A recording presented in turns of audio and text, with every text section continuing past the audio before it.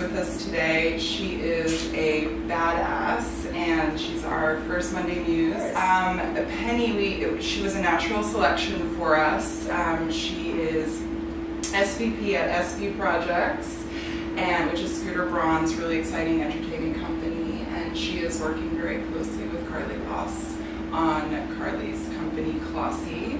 And uh, outside of being a badass in business, she is a force of nature and one of the kindest people I've ever met. We just want, we're feeling very inspired by her today and always, and we Oh, just thanks. um, wanted to spend a few moments uh, sharing with our followers a couple of things that inspire you around flowers and nature. So we were just going to ask you a couple of questions today. Of course, thank you. I mean, I love this lady. So, okay, so my ear earliest floral memory, I was actually talking to my mom last night, and I'm like, Mom, what is my, what would you say my earliest favorite flower was? And she's like, which was news to me, she said, Penni, you love your cherry blossom tree so much. Um, I moved it, dug it out, and moved it three separate houses. no! I loved it so much. Um, flowers, to me, are inspiring. I I would say because they're one of the few things in amongst my day-to-day life which can get quite chaotic that you are make you present to where you are. So either through their beauty or their smell, and um, so just you know having the opportunity to come in contact with that in the day or stopping to appreciate or enjoy it um, gives me some space in my mind in, in the day.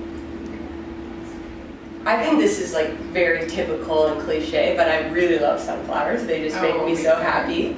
Um, I also love orchids, Mm. and um, I have been known to clip and steal my mom's hydrangeas. Oh my god, stop it. So, okay, I'd have to say half the bouquet to my mom and Uh. half the bouquet to my sister. Both of them are so, um, I mean, they're such amazing moms. And then they also are so intelligent, so capable of so many things, and are also like business minded. And so I think, first of all, it's a miracle they keep it all together. And I, in, in their situation, certainly would not. So I think they both deserve um, flowers and inspire me daily. Thank you. Thanks for having me, guys. I just want to give you a flower today, and we chose a rose for you, and this is one of our favorite roses, Oh. Secret Garden Rose. Um, Pretty, thank you. We, cho- we chose the rose Wow. for you because roses are equally delicate but tough at the same time, and we feel that that sort of encompasses you and your nature. You're Oh, so so strong, and you're so delicate and lovely and Oh, vulnerable like a beautiful Oh, thank you so much.